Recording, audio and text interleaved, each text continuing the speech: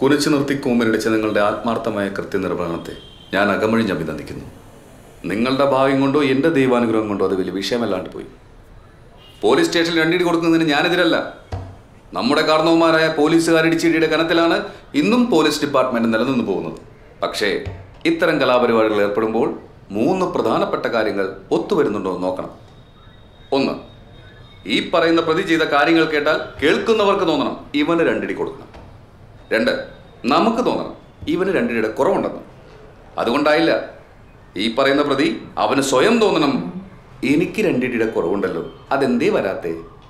അപ്പോൾ അദ്ദേഹം ഇടികൊള്ളാൻ യോഗ്യനാണെന്നർത്ഥം.